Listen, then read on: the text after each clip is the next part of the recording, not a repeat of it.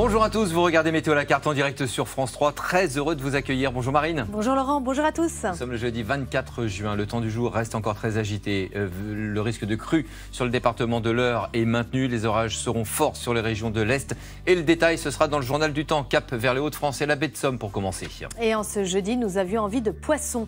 Nous avons donc demandé à Joël, notre chef du jour, de laisser aller son imagination.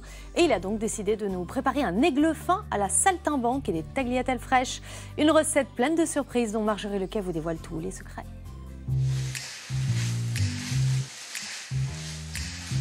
C'est parti les filles, au menu aigle fin en saltimbanque aux tagliatelles fraîches. Trop bien. C'est la sauce que j'adore en plus. Bon appétit. Mmh. Chair bien ferme, cuisson à cœur. Une belle tenue. Super bon, comme toujours. Notre chef du jour s'appelle Joël, il est belge et a quitté Bruxelles il y a deux ans avec sa femme et sa fille pour s'installer à Seigneville, dans le parc naturel de la baie de Somme. Une aventure familiale construite autour d'un ancien presbytère transformé en chambre et table d'hôte dont ils sont littéralement tombés amoureux. Quand on rentre dans la cour à l'avant, on a l'impression d'être dans, un petit euh, village euh, provençal. Puis l'arrière, euh, un jardin très très très agréable en toute saison, même si parfois il fait un peu humide. Direction la cuisine pour attaquer cette recette d'aigle fin en saltimbanque. Une recette inventée par notre chef, artiste à ses heures perdues. C'est une recette qui est librement inspirée de la saltimbocca romana, qui est une recette romaine, qui est à l'origine une escalope de veau cuite avec euh, du jambon de Parme, de la sauge, du beurre et du vin blanc. C'est juste une merveille. Alors pour commencer la recette, je vais préparer mon poisson. Donc en fait, je vais le fariner. Je vais euh, utiliser de la farine euh, de type 65. Ce poisson, Joël est allé le chercher à Abbeville, à une dizaine de kilomètres de Seigneville. Bonjour Mickaël. Bonjour, bonjour. J'aurais besoin de 4 dos d'aigle fin aujourd'hui. Épais, pas trop épais euh, Pas trop épais. Un petit peu plus gros que ça Super. Michael est poissonnier depuis 24 ans et c'est en tombant amoureux d'une fille de marin-pêcheur qu'il a découvert cet univers qui le passionne encore aujourd'hui. L'aigle fin, c'est un très très bon poisson à travailler. C'est un poisson qui est ferme, qui a du goût en même temps, qui peut se préparer soit en papillote, soit poêlé, soit mijoté, soit au courbouillon. Mais le saviez-vous L'aigle fin ou aigle fin, poisson des profondeurs, cousin assez méconnu du cabillaud, change de nom une fois fumé et devient le fameux haddock. Allez, retour en cuisine. Joël farine les dos d'aigle fin, ajoute du sel, du poivre et de la sauge séchée. Je vais sélectionner une grande feuille de sauge par dos d'aigle fin. Pour ces herbes, pas besoin d'aller bien loin, Joël fait un saut dans son jardin. La sauge a des saveurs très très très prononcées, très amères, mais qui s'estompent assez vite finalement. Et alors au niveau odeur, il y a un côté citronné que vous allez retrouver dans, la sauge. C'est une merveille. J'adore la sauge. Elle pousse extrêmement bien dans la baie de Somme. C'est vraiment une plante qui est très très très précieuse. Et euh, il y a un vieux dicton qui dit qui a de la sauge dans son jardin ne sera jamais malade. C'est très beau et c'est très bon. Sous le regard attentif de Sky, le chat de la famille, Joël cueille aussi un peu d'origan, du persil, de la sarriette et plus étonnant, regardez, quelques fleurs de glycine. Alors évidemment, il y a plein de saveurs florales qui se dégagent de, de la glycine. C'est très sucré en bouche. Alors il faut juste être très prudent parce que la glycine est une plante très toxique, sauf les fleurs qui sont comestibles et qui sont un petit régal méconnu. Avant de retourner en cuisine, notre chef du jour ramasse aussi quelques feuilles de roquette. Je vais embarder ou enlarder le dos d'aigle fin avec la feuille de sauge. Le lard va permettre de donner une belle tenue au poisson, de lui donner un beau gras aussi, et va permettre d'ajouter un petit complément euh, terre-mer euh, à ce dos d'aigle fin. Mon poisson est prêt, je vais le réserver au frais, le temps de préparer la suite, et j'irai le récupérer au moment de le cuire. Et si Joël a choisi de plaquer Bruxelles pour la baie de Somme, c'est aussi pour la beauté de cette région qu'il prend plaisir à arpenter en famille. Ah, comme d'habitude, il n'y a personne à part des chevaux, des oiseaux. Le ciel est bleu. Ici, on est dans les marais de Seigneville. On est vraiment en contrebas du, presbytère. On descend euh, d'environ un kilomètre et demi et on arrive bah, en bord de Somme. Hein. La Somme est là-bas, juste derrière. Tiens, regarde la cigogne. Ouais, regarde, la cigogne, est là. Là-bas On la voit là, ouais, regarde. Oh, j'adore. Un retour au nid. C'est magnifique. Allez, il est temps de terminer la recette. Joël cisèle des échalotes, les confie dans du vin blanc et cuit les tagliatelles fraîches. Pendant ce temps-là, je vais préparer mes herbes. Je vais utiliser pour mes pâtes sautées de la roquette pour donner un petit côté piquant, du persil parce que c'est plein de vitamine C et qu'on en a tous besoin à l'heure actuelle, de la sauge à nouveau, ça va rappeler la sauge du plat principal, et de la sarriette qui va donner un petit côté frais. Donc maintenant tout va aller très très vite, donc je prépare mes assiettes. La dernière ligne droite est très rapide. Maintenant c'est pas de distraction, c'est droit au but. Il prépare un beurre noisette qu'il aromatise avec de la sauge séchée pour cuire son poisson. Attention, juste deux minutes par face. Il verse ensuite du vin blanc. En même temps, il fait revenir les tagliatelles dans les échalotes confites. Une petite variante par rapport à la recette d'origine de la saltimbocca romana. Moi, j'ajoute de la crème parce qu'on est à côté de la Normandie et que la crème, c'est bon, et parce que ça va encore rehausser le mélange de saveurs. C'est ça le plaisir de se réapproprier une recette. Maintenant, je vais rajouter mes herbes et mes fleurs de glycine. C'est prêt, il ne reste plus qu'à dresser et à se régaler. Une œuvre d'art et une recette d'ailleurs à l'image de Joël, hein, originale. Pour la refaire chez vous, pas de panique, tous les détails sont à retrouver sur notre site internet. Si aujourd'hui le nom de la famille Peugeot est associé au monde de l'automobile, c'est d'abord celui de la cuisine que les frères ont révolutionné avec la fameuse création du moulin à poivre vendu dans le monde entier. Et cela en partie grâce au climat humide du Doubs, un sujet qui forcément ne manque pas de piquant.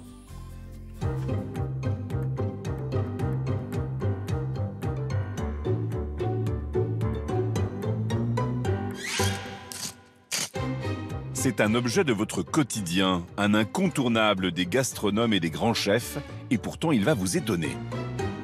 Ce petit bout de Franche-Comté, euh, on le vend partout dans le monde.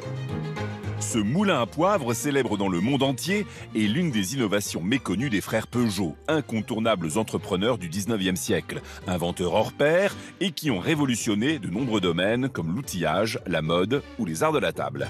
Et tout ceci est fabriqué longtemps avant les cycles, qui n'arriveront qu'en 1886, et l'automobile, 1889.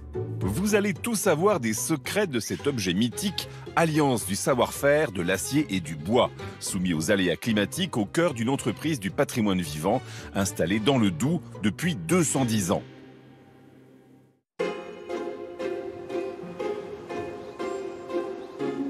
Bienvenue en Franche-Comté, à une vingtaine de kilomètres de Besançon, où l'on fabrique des moulins à poivre depuis 150 ans. On a un moulin qui est apparu en 1874 et qui ressemblait à peu près à ça. Les frères Peugeot à l'époque ont inventé un mécanisme génial. Et ça, c'est devenu finalement la référence de toute l'industrie moderne aujourd'hui. On a été vraiment les pionniers et on l'est toujours. Et pour habiller cet ingénieux mécanisme, l'entreprise se tourne naturellement vers l'une des richesses de la région, le bois de hêtre, aujourd'hui menacé par trois années de sécheresse. Tout commence donc avec un simple morceau de bois. C'est chez Olivier, à quelques kilomètres de l'atelier, que Sébastien vient s'approvisionner. Salut Olivier. Ah Sébastien, ça va? Ça va et vous? Belle pièce, hein? Ouais. Pas fondu Non, ouais, pas de fente. Il est magnifique ce bois, franchement, c'est le meilleur de la région. Le bois sélectionné par Olivier pousse dans un rayon d'une centaine de kilomètres autour de la Syrie. Un bois local coupé à l'automne et séché avec soin à l'abri du soleil. Vous voyez Sébastien, on laisse un vide d'air entre les piles de façon à ce que l'air puisse circuler et que les bois sèchent au mieux. Ça nous évite tout problème de moisissure ou autres soucis pour la suite, quoi. On stocke les bois au nord, de façon à ce qu'il n'y ait pas le soleil la journée dessus. Le bois doit être ventilé, mais surtout pas trop de soleil sur le bois, parce que là, on a des problèmes de, de fente. Et ce n'est pas un hasard si on sélectionne des hêtres qui ont poussé dans les plaines de la région. Car pour faire un beau moulin à poivre, l'entreprise a besoin de bois tendre et non de bois d'altitude, plus dur en raison du froid. Il se travaille bien quand il est bien préparé par Olivier. Euh, justement, il ne faut pas qu'il soit trop sec, ni trop humide, etc. Et on va avoir de bons résultats au niveau qualitatif. Parce que nos moulins, ils sont faits pour durer dans le temps. Ils sont faits pour durer une vie. Direction l'atelier, où le savoir-faire de cette entreprise bicentenaire se met en œuvre. Ça va, Michael? Tout se passe bien? Ouais, ça va, impeccable Tout commence dans la tournerie, l'une des plus grandes d'Europe, où 20 000 moulins à poivre sont sculptés chaque jour. La qualité du bois est essentielle pour qu'on tourne bien, pour qu'on travaille bien. C'est une matière vivante, le bois. Il réagit à la chaleur, il réagit à l'humidité. Et justement, pour maintenir une hydrométrie constante, l'entreprise a tout prévu. Donc on a de la vaporisation d'eau dans les ateliers qui permet de conserver ce niveau d'humidité. Euh, la semaine dernière, il faisait très très chaud dans la région, ça fonctionnait en permanence. Et à des périodes plus humides, bon ça nous arrive rarement, il y a toujours du, soleil ici, hein. Et aux périodes plus humides, forcément, il y aura moins de vaporisation d'eau. Et pour protéger le bois, on applique sur chaque moulin à poivre de la peinture et du vernis. Maintenant, on va s'intéresser à l'intérieur du moulin, le mécanisme, l'âme. À l'intérieur, on trouve donc un mécanisme inventé par les frères Peugeot. L'histoire commence en 1810 lorsque Jean-Pierre et Jean-Frédéric transforment le moulin hydraulique familial en une aciérie. Avec cet acier, ils se lancent dans la fabrication d'objets très divers comme des lames de scie ou encore des accessoires de mode tels que la crinoline. En 1840, Peugeot va donc commencer à produire des moulins à café. Une fois qu'on va maîtriser ce mécanisme du moulin à café, on va le décliner. Dans un premier temps, les moulins à grains, puis les moulins à poivre. Pourquoi? Parce qu'on maîtrise tellement bien le mécanisme qu'on va pouvoir le réduire. Et le réduire à tel point qu'on va pouvoir créer les fameuses poivrières. En 1886, la famille se lance dans la fabrication du cycle. Et en 1889, Armand Peugeot présente la première automobile de la marque. À ce moment-là, le petit moulin à poivre a déjà envoûté le monde entier grâce à son ingénieux mécanisme. Mais là, on voit bien ce qui va se passer à l'intérieur du moulin. Le grain de poivre va être d'abord concassé dans les dents les plus grosses et ensuite les moudre dans les dents les plus petites. Et c'est réglable. Donc, quand on a une mouture très fine, on dégage le piquant du poivre. Et quand on a une mouture plus grossière, on dégage la saveur. Voilà le secret qui a presque 200 ans de ce produit magique autour du monde. Présent aujourd'hui sur les tables de plus de 80 pays, ce moulin à poivre fait évidemment la fierté de tous les ouvriers qui le fabriquent. On est fiers de ce qu'on fait et on est fiers, encore une fois, de pouvoir exporter ce savoir-faire, ce petit bout euh, de, de région française. Et je pense qu'on est tous ravis de voir les produits qui sont sortis de cette usine sur une table dans un restaurant ou chez des amis. Une fierté bien légitime, puisque même un célébrissime romancier anglais aurait fait un petit clin d'œil à cette invention mythique. Dans le livre de Lewis Carroll, Alice au pays des merveilles, sur la table du chapelier fou, il y aurait une machine à broyer le poivre. Or, à l'époque, les seuls qui avaient la technologie pour pouvoir moudre le poivre de façon fine, eh bien, c'était Peugeot. Donc, on est content de savoir que sur la table du chapelier fou, il y avait peut-être un moulin à poivre Peugeot. Certainement même. Il est 13h12, on enchaîne dans le Var, où la vallée du Gapot abrite de nombreux trésors, trésors gourmands. Et oui, fraises, cerises, miel ou encore huile d'olive. Les richesses culinaires sont nombreuses le long du fleuve côtier qui se jette dans la Méditerranée à hier. Évidemment, c'est au soleil provençal que l'on doit le goût unique de tous ces bons produits. Virginie Tumortiki vous les présente.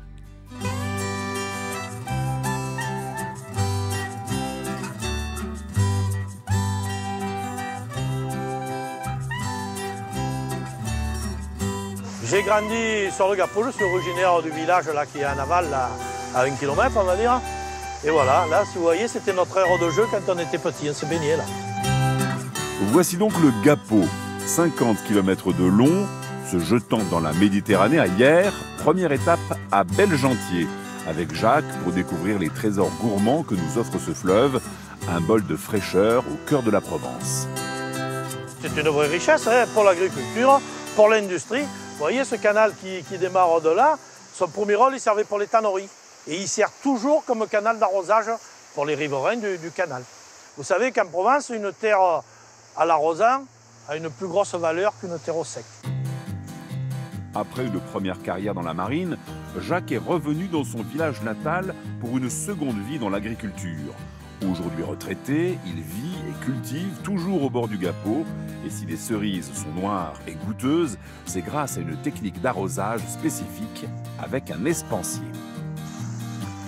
C'est un canal de dérivation du Gapot, bien sûr. Donc ça traverse tout le village, ce canal.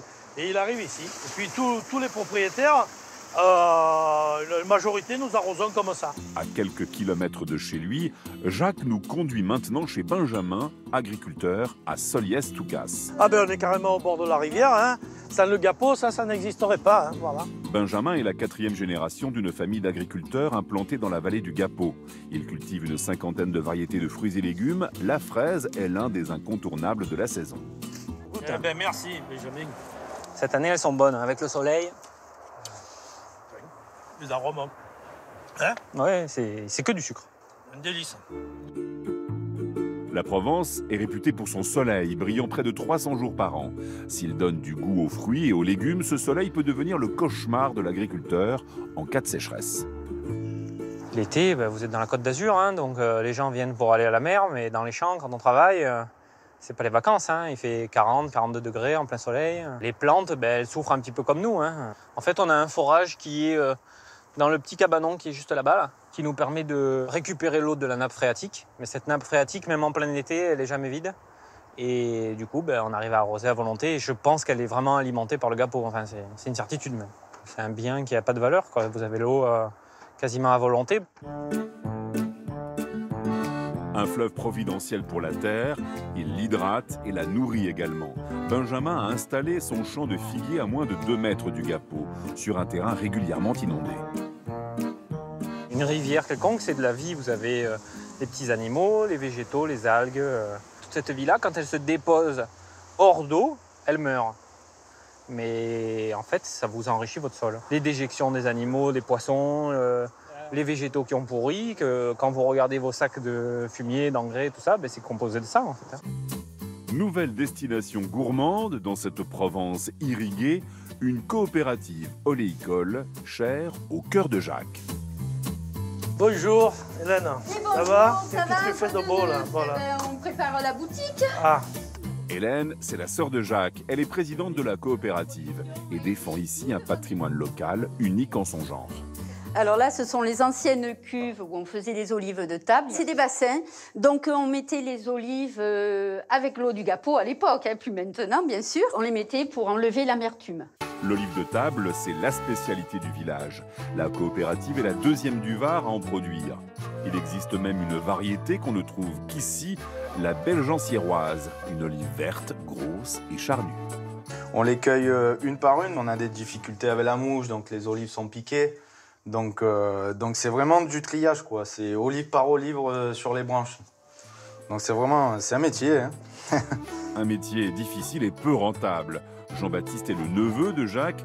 Pour sauvegarder cette tradition locale de l'olive de table, il est devenu le moulinier de la coopérative. Ma famille est d'ici.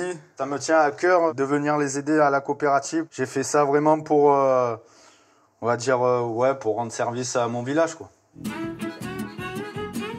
Une famille de passionnés qui se bat pour sauvegarder un savoir-faire ancestral.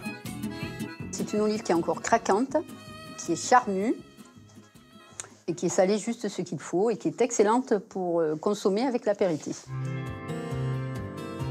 Dernière étape de notre voyage gourmand, quelques kilomètres plus bas, nous sommes cette fois à Soliès-Pont, chez Jean-Yves, l'apiculteur. Nous, notre travail d'apiculteur, c'est en fait de mettre les ruches dans, le, dans les meilleures conditions. Enfin, on est leur coach. On est là pour veiller à ce qu'elles soient en bonne santé, qu'elles se développent correctement et de les mettre dans les meilleures conditions pour qu'elles puissent produire. Elles aussi, elles sont dépendantes de la nature. Ça veut dire que la nature, quand c'est trop sec, c'est trop chaud, c'est trop froid ou il pleut trop, ben là, les conditions ne sont pas réunies. Là, vous voyez, ben, j'ai un petit peu raclé. Ben, tout ça, c'est du miel. Elles ont commencé à produire au printemps. Donc, généralement, c'est du miel de bruyère. Apiculteur dans la vallée du Gapot depuis 25 ans, il travaille évidemment au rythme des saisons. Ici, dans la vallée, on a toute la diversité de la flore provençale. En fait, on est juste à la limite du massif des Morts. C'est des terres acides, c'est des terres à bruyère. On trouve de l'arbousier, on retrouve du châtaignier. Et en même temps, on n'est pas loin de la garrigue. On retrouve du thym, du romarin, on retrouve des cystes, on retrouve toute une flore aussi. le gapeau, on le voit pas même euh, euh, visuellement, mais on le sent avec la végétation, quoi. Pour les fleurs, tout ça, pour les abeilles. Je pense qu'il y est pour quelque chose aussi. hein. Pour finir en beauté, cette découverte des trésors du Gapot, Jean-Yves propose à Jacques une dégustation du miel de bruyère, tout juste sorti des ruches. Vraiment bon, hein? Ah ouais. Puis ces arômes. La bruyère blanche, c'est la bruyère arborescente qui fleurit au printemps. Et ça donne vraiment ce goût particulier au miel. Elle est vraiment pas mal. hein. Oh putain. On s'est régalé, vous avez vu tous les, les bons produits que nous avons. Et on n'a pas tout dégusté parce que bon, c'est un peu hors saison. Mais euh, après, c'est un pays béni des dieux, on va dire. hein. Je, pense, hein, peut-être je suis un peu chauvin, mais nous sommes heureux d'habiter cette région. Et vous pouvez venir déguster nos produits. Un tout petit peu chauvin. Oh, très objectif. Notre série sur les incontournables de l'été se poursuit. Sans lui, on serait bien embêté à la plage. C'est le drap de bain. Et contre toute attente, c'est dans les Vosges, loin des plages, que nous avons tout appris sur ces accessoires. Résistance aux UV, qualité de l'éponge, tissage, choix des motifs, couleurs. Rien n'est laissé au hasard pour que votre serviette de plage dure le plus longtemps possible. Aline Lodin fait c'est presque offert à bain de soleil.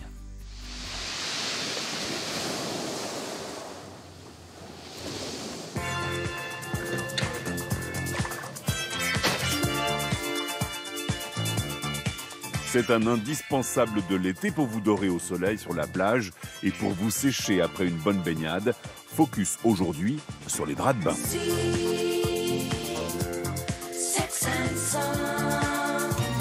Changement de climat, changement de décor, rendez-vous dans une manufacture à Gérardmer dans les Vosges, l'une des rares à encore maîtriser en France l'art du jacquard. Et parce que les vacances, ça met tout le monde de bonne humeur, Alors, la collection printemps-été. euh, ces tisserands n'ont pas hésité à défiler pour nous présenter eux-mêmes leur nouvelle collection 2021. Ce qui fait le caractère de la marque, ça va être vraiment ces tons très colorés et ces motifs euh, XL. Nous avons toujours des grandes fleurs, plein de couleurs. C'est un côté un peu hippie chic parfois. On voit la vie en couleur. hein. Béatrice est la directrice de cet atelier qui crée et fabrique depuis 130 ans du textile de maison. Des draps de plage en lin ou coton européen. En ce tout début d'été, les 54 métiers à tisser jacquard tournent à plein régime. Alors combien on en produit par jour Euh, Ça va être une cinquantaine, non Parce qu'ils font 2 mètres, donc... euh, Pour 2 mètres, on est sur 100 mètres de tissu par jour. Et après, ils sont envoyés euh, partout sur la planète. Finalement, on envoie un peu toute l'année. Euh, Par exemple, un hiver pour aller sous les tropiques. Des motifs finement tissés et non imprimés. Voici en quoi consiste l'originalité et la rareté du savoir-faire jacquard. Une invitation au voyage pour Olivier, il est contremaître dans la manufacture depuis 24 ans. Là, en l'occurrence, euh, des poissons, euh, tout ce qui va se toucher, les coquillages, euh, ça rappelle les vacances. on va arriver vers une période estivale, été. Donc euh, voilà, c'est, on a le sourire jusqu'aux oreilles euh, en voyant ben, voilà, ce, ce qu'on fabrique là et, et ce pourquoi on va l'utiliser après. Vous l'avez sans doute remarqué, cette serviette est beaucoup plus fine que la traditionnelle serviette éponge. Voici le tissage en nid d'abeille. C'est la matière préférée de notre directrice. Le nid d'abeille, en fait, c'est un espèce de, gaufrage qu'on va retrouver dans la construction même du tissu. Et c'est ce gaufrage qui fait que euh, les fibres vont absorber euh, l'eau et, et la retenir euh, beaucoup plus qu'une pouta traditionnelle, par exemple. C'est vraiment votre partenaire idéal pour partir à la plage hein, et pouvoir enfin en profiter après cette année difficile. La création du drap de bain tel que nous la connaissons remonterait au XVIIe siècle en Turquie, où les événements de la vie comme les mariages, les naissances, les prières sont liés à des rituels de toilette. En France, la serviette se popularise sur les plages dans les années 30 avec l'arrivée des congés payés et à cette époque, la technique du jacquard est plus largement utilisée. C'est un savoir-faire qui est très précieux parce qu'il fait vraiment partie du patrimoine français. Il n'y a plus beaucoup d'entreprises qui tissent en jacquard. Depuis qu'on a découvert qu'on pouvait imprimer euh, sur de la toile, le jacquard a été pas mal abandonné et c'est dommage parce que finalement le jacquard, ça permet de préserver la qualité des produits qui sont absolument increvables et qui peuvent se transmettre de génération en génération sans bouger. Des couleurs chatoyantes et vives, c'est aussi la marque de fabrique de ces draps de bain.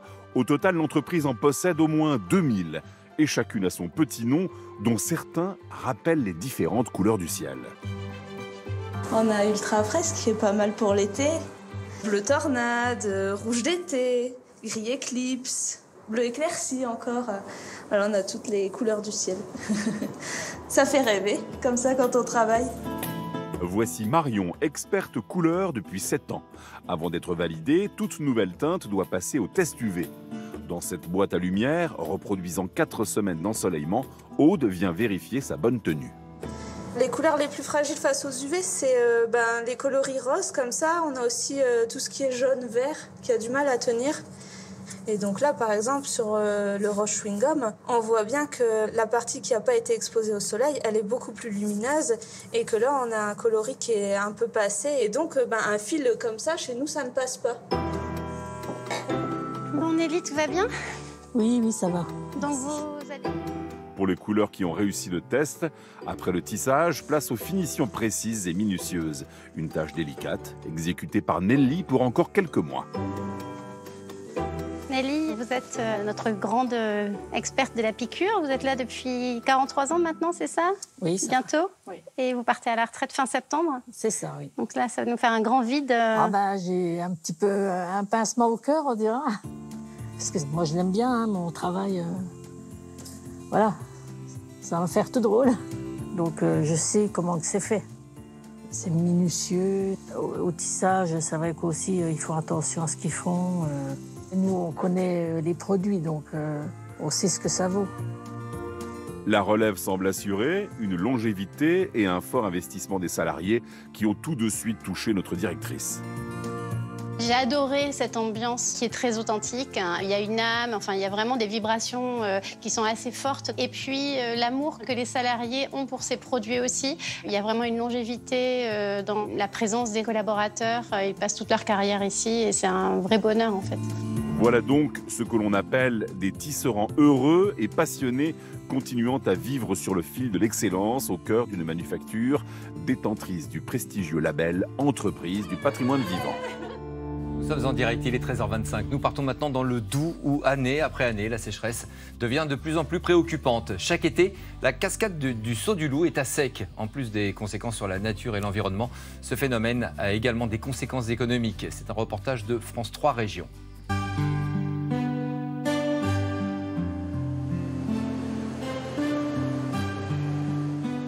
Nous sommes dans le massif du Jura, à 945 mètres d'altitude. Voici la source du Doubs. Encore tumultueuse au printemps, la cascade devient en été un mince filet d'eau. Le long de ses rives, des hommes, des femmes subissent les impacts des sécheresses à répétition.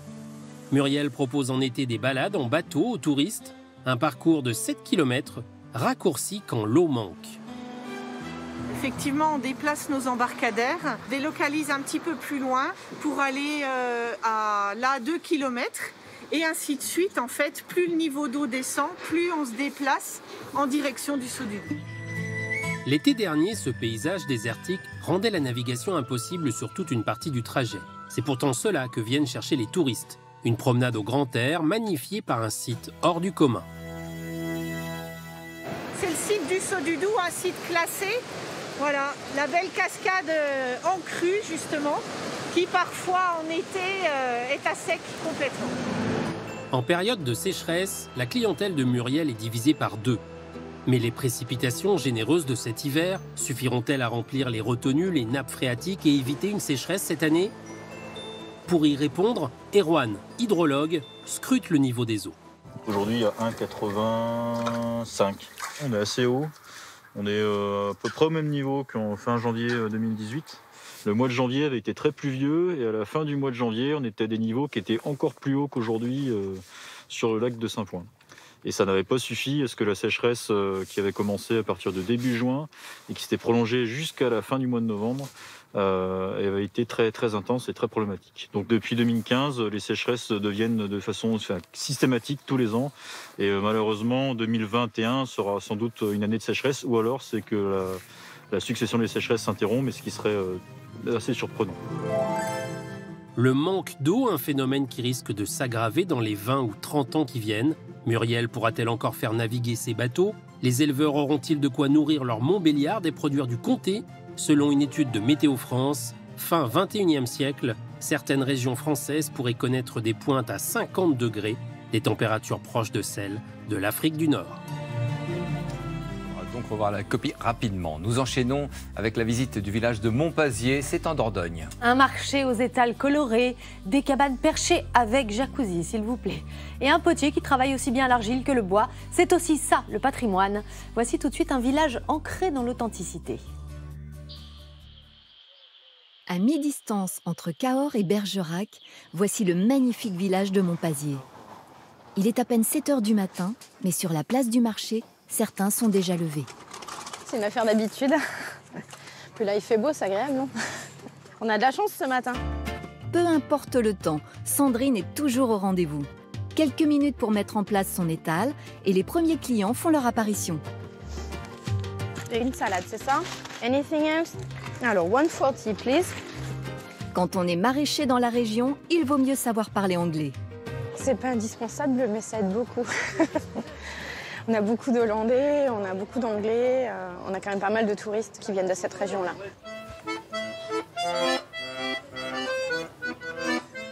Si les touristes en provenance du nord de l'Europe se plaisent en Dordogne, ce n'est pas un hasard. Ici, en plus du décor hors du commun, ils profitent d'un climat particulièrement agréable.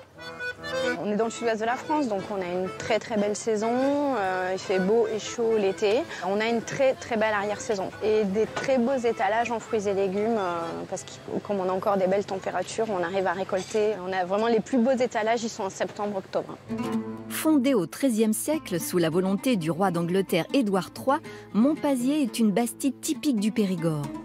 Le marché a lieu sur la place centrale du village, entouré de maisons médiévales et de superbes arcades. La particularité de la Bastide, c'est d'avoir ces avancées. En hiver, les gens se trouvent euh, à l'abri de la pluie et en été, à l'abri du soleil. Lui, c'est Gabriel, 88 printemps, mais toujours partant quand il s'agit de mettre en avant l'amour de sa vie. Ce petit village d'à peine 500 habitants. J'ai vécu ici pendant toute mon enfance et une partie de ma jeunesse. Et c'est vrai que j'y suis revenu avec beaucoup de plaisir. J'ai donc fait restaurer une maison et je me suis établi ici. Je m'y sens véritablement enraciné. Nous suivons Gabriel dans les petites ruelles de Montpazier. On les appelle les carrés roux. À peine 2 mètres de largeur, juste la place pour y circuler en charrette au Moyen Âge. Surpris par une averse, nous décidons de prendre un peu de recul, de quoi apprécier Montpazier à sa juste valeur. C'est un cadre euh, incroyable puisque c'est un havre de paix. Et c'est d'ailleurs de là que vient le nom de Mont- Montpazier, puisque Mont, euh, c'est sur le mont, et c'est le, le mont de la paix. Montpazier est bâti dans une période intermédiaire entre deux guerres, donc euh, c'est par là que doit passer la paix. Perché sur sa colline, Montpazier domine les environs. À moins de 3 km de la Bastide, voici Rémi, enfant du pays, qui lui aussi a décidé de prendre un peu de hauteur.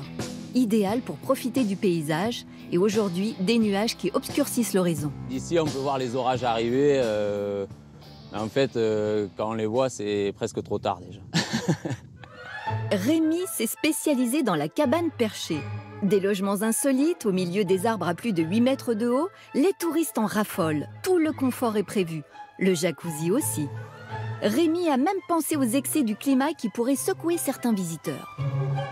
On peut avoir des vents qui peuvent euh, souffler jusqu'à 200 km/h et les cabanes ne risquent absolument rien. On a eu une fois où il y a eu une petite tempête avec des grelons de grosse taille, où il y a eu pas mal de branches cassées et beaucoup de vent, mais les cabanes n'ont pas bougé d'un centimètre et les clients étaient quand même rassurés d'être dans des cabanes de cette qualité. Pendant que la pluie s'abat sur Montpazier, Rémi s'occupe d'accueillir de nouveaux locataires. Bienvenue Très bien. dans votre cabane. En quelques minutes, le charme opère. Elle est très jolie, euh, très accueillante. Une impression Euh, chaleureuse. Oui. Voilà. Donc on va en profiter au maximum. Surtout le côté sympa, c'est qu'on a disons les, les arbres à proximité. Là, euh, après le, le rayon de soleil qui va venir, on va sortir la paire de jumelles pour, euh, pour apprécier euh, les volatiles du secteur. Si la nature vaut le détour, à Montpazier, les touristes ne risquent pas de s'ennuyer. De nombreux artisans font vivre la cité. Charentais d'origine, Stéphane a installé son atelier de poterie ici, il y a plus de dix ans. C'est le fonctionnement que je voulais adopter euh, en montant mon, atelier. Voilà, travailler dans un village de caractère, euh, travailler avec le- des, des gens de passage, euh, des gens qui viennent visiter un lieu. Et par chance et par bonheur, ça a été mon pasier. Pour la cuisson de ces pièces d'argile, Stéphane utilise la technique du raku. C'est une technique de cuisson euh, japonaise en fait. Et ce qui fait la grosse différence avec beaucoup de techniques de cuisson céramique, c'est qu'on défourne les pièces chaudes du four. Les pièces sont chauffées à plus de 800 degrés avant d'être refroidies et fumées dans ces marmites. Le résultat est là. Voilà, le principe du raku, des parties brutes en fumée et euh, l'émail craquelé, des craquelures noires, dues à ce choc thermique et cet enfumage. Stéphane a plus d'un tour dans son sac. En plus de remodeler l'argile, il travaille aussi le bois. C'est deux matières que j'adore travailler. Et ce qui me plaît beaucoup, et encore plus dans ce genre de pièce, c'est vraiment d'avoir euh, cette harmonie de courbes, euh, cette sobriété. Du bois, de l'argile pour des pièces uniques. Nous laissons Stéphane dans son atelier. Dehors, la pluie a cessé et le soleil brille de nouveau sur mon pasier. Alors, si vous passez par là, n'hésitez pas à vous y arrêter. Et après Montpazier sous le soleil, on enchaîne dans le Vaucluse où le melon est une institution forcément. Le soleil de Cavaillon en a fait un des produits stars de la région.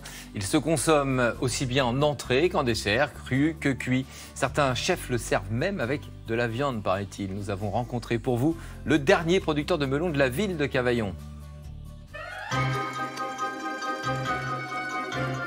Vous voyez comme il est orange? Il est juteux et ça c'est ferme. Cambrai a ses bêtises, Aix a ses calissons, à Cavaillon, c'est le melon. Une saveur estivale dont la renommée mondiale en éclipserait presque le soleil provençal. Sa production est infime comparée aux mastodontes que sont les régions Nouvelle-Aquitaine et Occitanie, mais son goût est incomparable. Vous allez voir qu'on peut en faire des salades accompagnées de concombres et de feta, qu'on les déguste rôtis avec du filet mignon de porc ou en dessert au milieu des fruits d'été. À Cavaillon, dès la fin du mois de mai, le melon est attendu comme le Messie. C'est quelque chose, ouais. C'est attendu, quoi.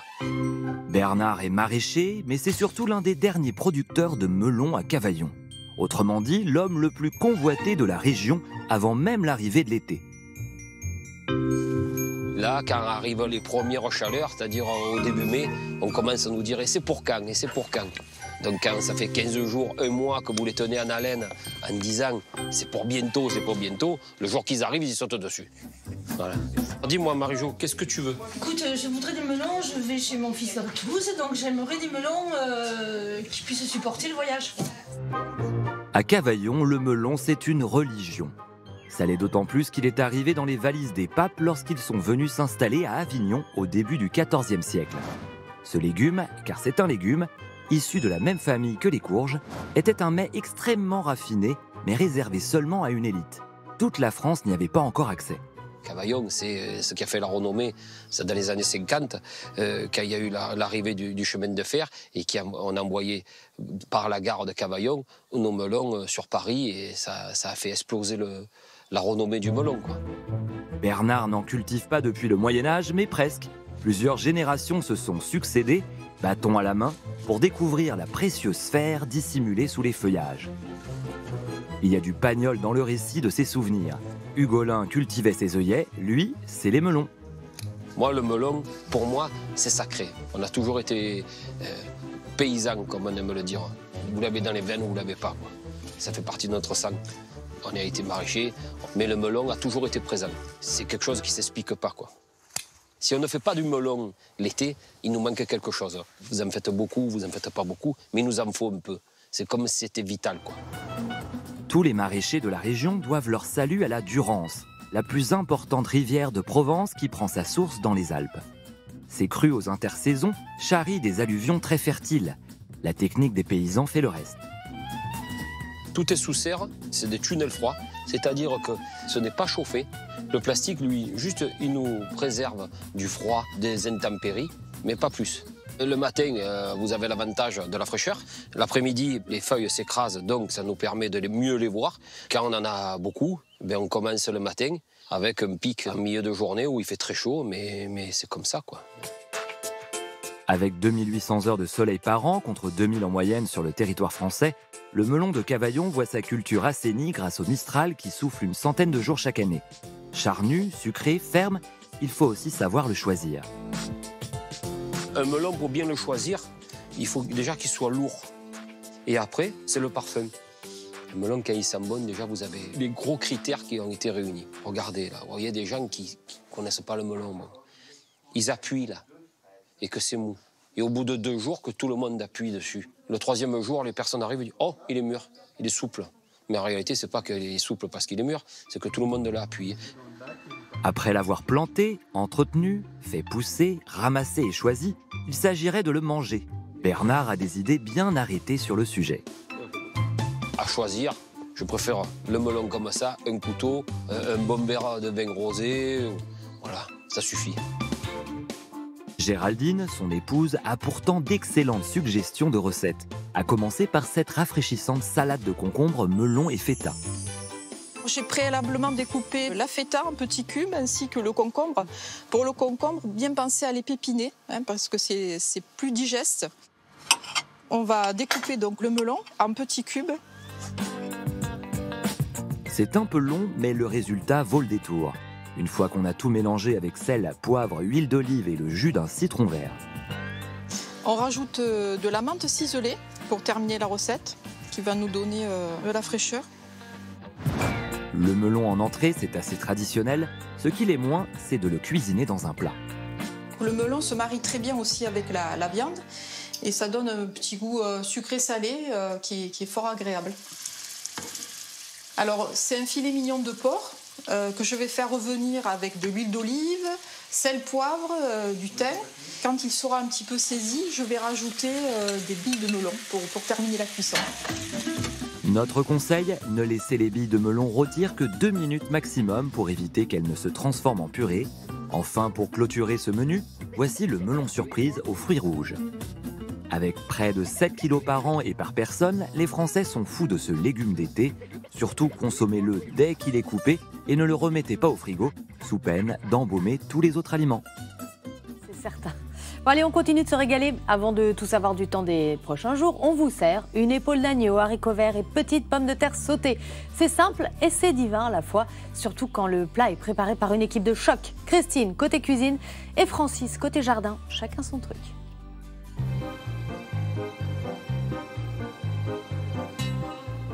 Donc là, je vais marquer l'agneau. Alors ça, c'est une épaule d'agneau qui a été ficelée par le boucher. Donc je la marque bien sur toutes les faces. Là, je vais retirer mon épaule. Et je vais la maintenir au chaud dans le four. Pas qu'elle se refroidisse pendant que je prépare ma garniture. Épaule d'agneau confite, haricots du jardin et quelques pommes de terre nouvelles. Bienvenue dans les Hautes-Pyrénées à Vic en Bigorre, au nord de Tarbes, dans une jolie maison d'hôtes. En cuisine, le chef, c'est Christine, et elle peut compter sur Francis, son fidèle commis. C'est ça. Humour et complicité, voilà les ingrédients du succès de ce couple qui a longtemps tenu une pizzeria dans la région. Nos amoureux sont ensemble depuis presque 40 ans. 39. 39. On fait partie des dinosaures. Francis fait la petite main, c'est vrai. Ils m'aident beaucoup pour les légumes en fait. Et puis malheureusement, il m'aide à la plonge. Sans Christine, pas de cuisine, mais sans Francis, pas de légumes. C'est lui qui entretient le magnifique jardin derrière la maison et il fait vivre le potager. Mon père le faisait et donc euh, évidemment, naturellement, on suit et voilà. Là, on ramasse les haricots verts pour euh, accompagner notre épaule d'agneau confite. Même cru, euh, ramassé dans le jardin, ils sont bons. C'est goûteux, c'est un peu sucré, c'est très très bon. Euh, Francis a fait très attention à les couvrir au moment où il y a eu de la pluie. Sinon, je crois qu'on n'en aurait pas mangé. Christine récupère aussi du thym et de l'estragon dans ce carré aromatique imaginé par Francis. C'est pour les retraités, pour pas s'abîmer le dos. Des bacs en bois qui permettent aussi d'arroser moins qu'en pleine terre. Avec le terrain draine beaucoup, donc il faut arroser souvent, parce qu'il y a les galets dans la terre. Ces galets, présents dans le sol, ont longtemps servi comme matériau de construction. C'est typique de la région, tout le monde construisait sa maison avec les galets. Et ici, en l'occurrence, c'était une ancienne ferme. Par contre, il faut quand même isoler à l'intérieur, parce que ça conduit le froid, le galet. Hein. Mais l'été, c'est confortable. L'été, on conserve un grand maximum de 25 degrés à la maison quand il fait plus de 40 à l'extérieur.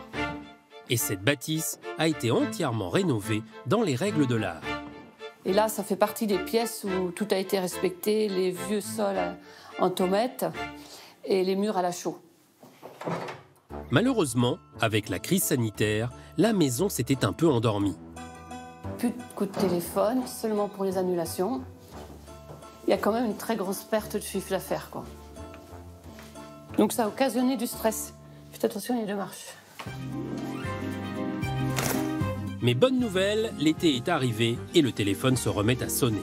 Christine n'a pas le temps de traîner pour préparer son épaule d'agneau confite. Les amis vont arriver, la sera mise. Après avoir saisi et réservé l'épaule d'agneau, elle réalise le jus dans la même cocotte. Quelques os, des carottes, des oignons nouveaux et de l'ail. Là, je fais revenir tous mes ingrédients, carottes, oignons, tout ça, que ça prenne bien le, les graisses. Ça prenne bien. Je vais mettre mon thym. Là, après, je vais déglacer avec du vin blanc. Et je vais laisser réduire de moitié. Notre chef du jour récupère l'épaule d'agneau. Et là, j'ai préparé un litre de fond de veau. Un peu de sel, du poivre, de l'estragon. Et là, je vais couvrir de papier sulfurisé. Donc ça va éviter que la viande sèche. Pour une cuisson basse température à 150 degrés. Et là, on va le laisser un minimum de 2h30. Ça m'arrive de pousser jusqu'à 4 heures. Et on pique son, son épaule d'agneau avec le couteau. Et là, ça doit rentrer euh, comme dans du beurre. Heureusement, Christine avait tout prévu. Donc hier soir, j'ai préparé mon épaule d'agneau. Quand c'est tiède, on le filme pour que ça se compacte bien, sinon ça part en lambeaux. Une fois que c'est bien refroidi, je vais pouvoir couper de belles tranches. L'avantage de cette recette pour les gens qui reçoivent, ils peuvent le préparer la veille. Et le jour euh, du repas, c'est beaucoup plus simple à servir. Et ça, je vais le mettre à réchauffer. Je vais mettre mon four à 80 seulement pour réchauffer. Et il n'y a plus qu'à préparer les haricots verts et quelques pommes de terre. On les a bien lavés, mais on a laissé la petite peau fine de pommes de terre nouvelles. Ça donne un bon petit goût. Et on va les mettre dans un beurre noisette. Beurre fondu, mais qui prend un peu de couleur, donc qui donne un peu de goût. Dernière étape, la persillade, du persil, de l'ail, parfait pour terminer la cuisson des haricots. Épaule d'agneau confite avec les haricots verts du jardin et les pommes de terre nouvelles du jardin. Et la salade du jardin. Et la salade du jardin. Voilà, tout du jardin, on a compris. Il est 13h46. À quoi vont ressembler les prochains jours et notamment le dernier week-end du mois de juin? 9 jours de prévision, c'est tout de suite dans notre journal du temps. Et c'est quoi ce temps en ce moment, Laurent? C'est le temps du jour. Bah oui, qu'est-ce qui se passe? Bah, euh, C'est l'été voilà, ou c'est pas l'été? Une situation orageuse avec des orages qui vont se maintenir encore cet après-midi. Le risque de crue, d'inondation qui est associé aussi avec euh, toujours un département, on va y revenir, le département de l'Eure qui est maintenu en vigilance orange. On va regarder l'animation satellite, on a toujours de l'air extrêmement instable avec euh, cette- ces orages qui éclatent et qui devraient se maintenir cet après-midi, principalement sur le flanc est du pays. Sur le nord-ouest, c'est beaucoup mieux, on le voit sur la dernière image satellite avec de belles périodes ensoleillées. Le soleil également au rendez-vous sur le bassin méditerranéen, le tout avec des températures qui ont baissé ces derniers jours et qui restent une ambiance assez fraîche, euh, contrairement au reste du continent européen. Du côté de Moscou, on est à pratiquement 35 degrés. On les a dépassés d'ailleurs avec 35,7 à Saint-Pétersbourg hier. Euh, Ce sont des records qui ont été pulvérisés. En attendant, chez nous, le risque de crue associé avec la carte de vigilance, le département de l'Eure qui est concerné avec des débordements, euh, surtout du côté euh, sur le, le tronçon de la Rille aval, avec des niveaux qui restent encore très élevés, secteur de, Brionne, avec euh, là euh, des niveaux qui sont élevés et la décrue qui va s'amorcer tout doucement si les ondées cessent. On va regarder justement le temps pour cet après-midi. Euh, ça devrait revenir au calme progressivement sur le nord-ouest, vous le voyez. Toutefois, un temps un peu plus nuageux sur la pointe Finistère. Et puis l'instabilité va véritablement se décaler sur le flanc est du territoire avec l'activité orageuse associée du plateau lorrain jusqu'au relief des Alpes. Et puis localement dans la partie nord de cette zone, sur l'Alsace, du côté de Nancy également. On devrait euh, essuyer quelques averses et parfois de la grêle pour cet après-midi. Des averses qui pourraient être soutenues. On est plus localisé des Ardennes jusqu'à la barrière pyrénéenne. Le soleil et le vent en Méditerranée. Les températures, les voici pour cet après-midi, avec un thermomètre stable comparativement hier, toujours un peu faible près de la Manche ou encore pour le Cantal, 18 la minimale, vous le voyez, 21 pour la capitale, 21 également pour la Touraine, et puis autour de la Méditerranée, 27 à 28 degrés, 30 degrés, mais ce sera uniquement du côté de Bastia. Le temps pour la matinée de vendredi, demain matin, donc on va retrouver un ciel clair, on aura des phénomènes de basse couche avec des nuages bas sur le nord-ouest, quelques plus faibles qui concerneront le département de la Manche, ainsi que sur le Finistère Nord, avec localement quelques plus faibles. Quelques ondées pour les Hauts-de-France, quelques brumes brouillards dans l'intérieur du pays breton, tandis qu'ailleurs, eh c'est le soleil qui devrait l'emporter. Certes, encore quelques ondées résiduelles pour la plaine d'Alsace et la Franche-Comté, et puis le vent en Méditerranée avec un temps sec et largement ensoleillé. L'évolution dans le courant de l'après-midi. Sur le nord-ouest, ça va glisser un peu dans les terres et puis frôler le littoral de la Manche avec euh, cette perturbation qui va tangenter, des pluies locales et faibles, toujours une ambiance très nuageuse sur le nord-ouest avec quelques déclenchements d'ondées sur le nord du bassin parisien ainsi que les Hauts-de-France. Ailleurs, eh bien, ma foi, nuages et belles éclaircies encore quelques ondées, mais de plus en plus rares. Elles ne prendront plus un caractère orageux sur le Grand Est demain.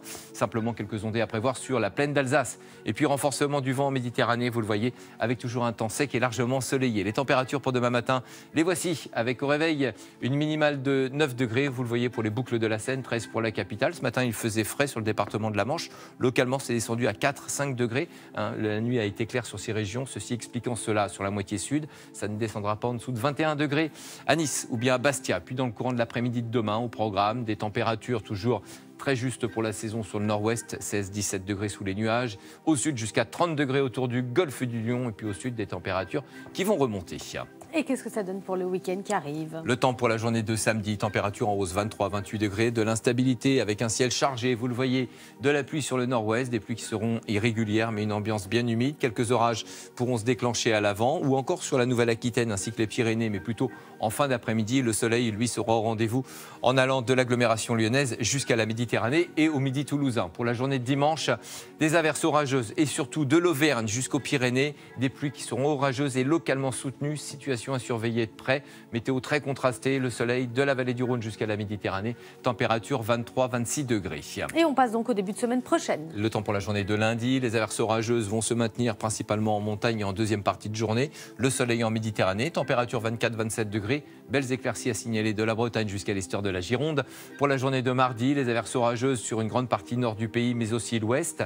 Autour de la Méditerranée, le soleil principalement sur le, le Var ainsi que les Alpes-Maritimes et la Corse, belles éclaircies de la partie est des Pyrénées jusqu'au sud du massif alpin. Les températures sans grand changement, 23-27 degrés. La suite de la semaine maintenant pour les journées de mercredi et de jeudi.